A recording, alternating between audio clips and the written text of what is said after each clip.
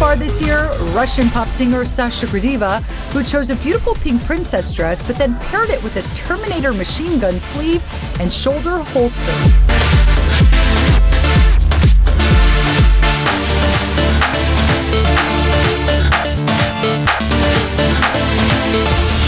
Sasha Gradiva is now America's most wanted. Let's collect all the weapons in the world and use them for fashion, for artistic purposes only.